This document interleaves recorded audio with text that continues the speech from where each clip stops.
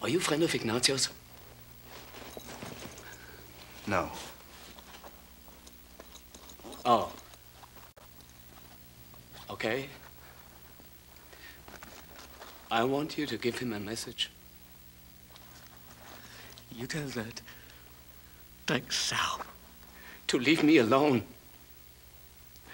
Or one of these days, I'm going to break his neck. I think you should kill him.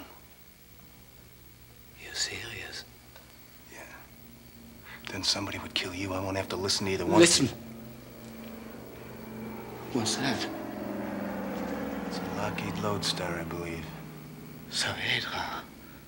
Oh, well, uh, back to work. Yeah. Uh, Is everything running efficiently? oh, yeah, yeah, yeah. Alles klar. I've heard some rumors that you have been dipping a little into the soup a little too often, Gunther. What? Momentum. Know, perhaps you should consider the source of these rumors. You know, I run a very tight ship around here. You know, naturally, not everyone likes me, you know. You keep it clean, yes?